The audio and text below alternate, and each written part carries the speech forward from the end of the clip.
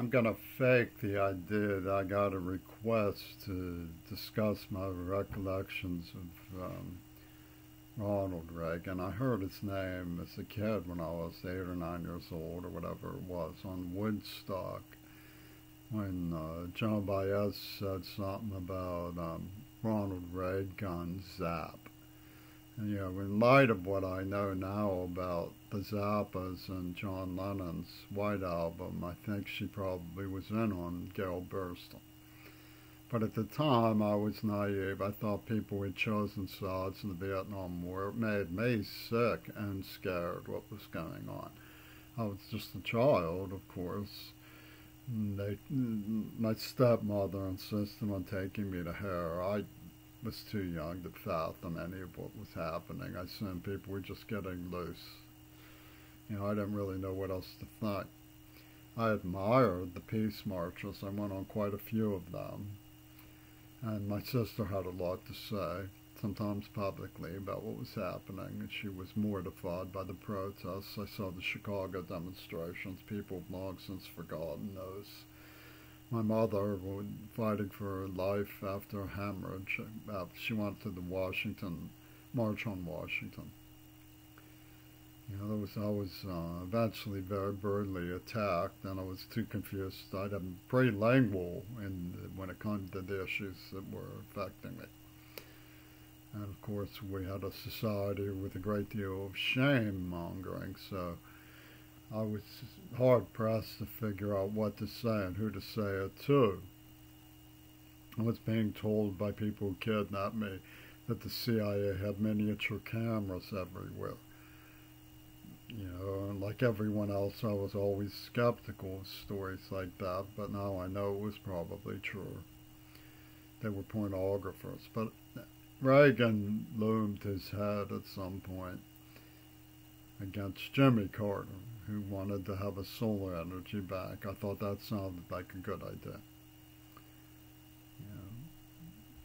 and I was uh, living with people who were grossly ridiculing me as like some kind of freak, they used to call me and so forth.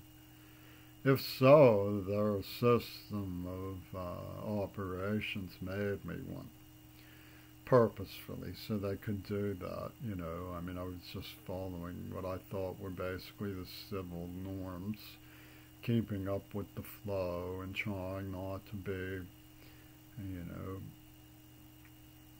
anything but a deaf person who was trying to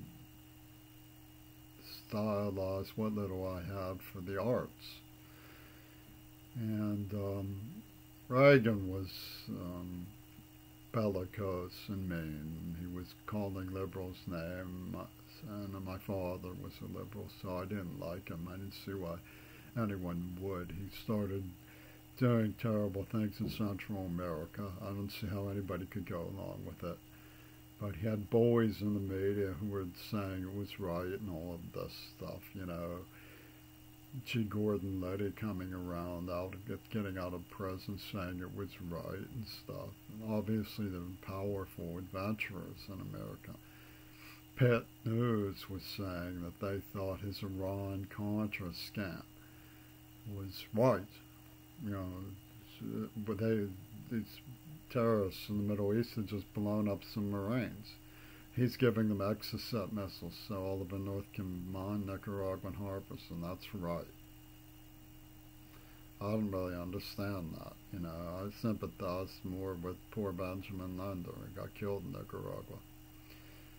I don't understand how anybody I can make sense of it. You know, people seem to me to be uninterested in the fact that they were victimizing innocent people. I've never believed in the domino theory. I've always felt the only way that a country who was offered the prospects of good neighbor relations with a healthy functioning democracy could fall to communism is if they were attacked by a healthy functioning democracy for no apparent reason.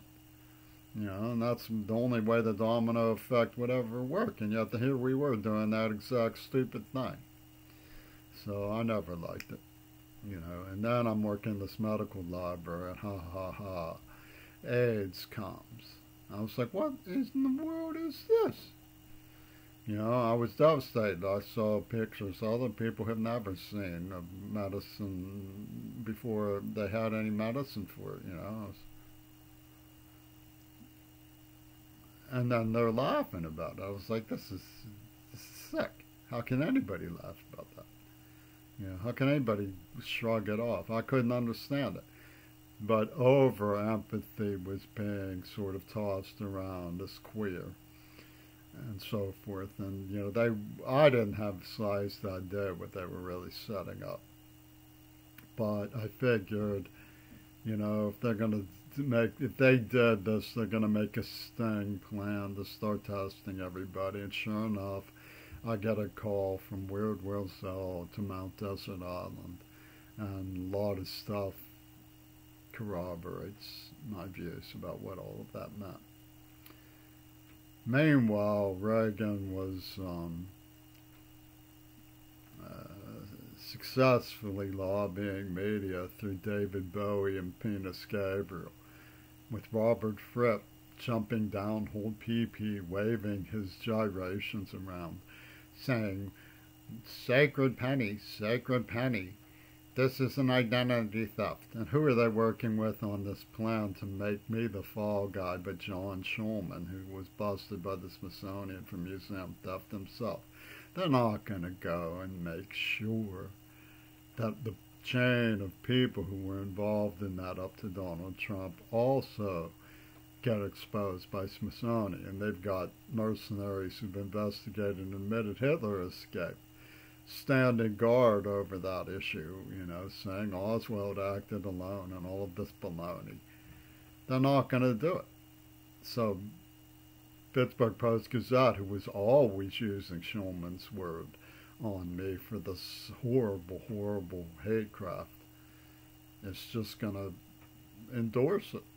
Say, well, we win. So, you know, pack your bags, Don. Get out.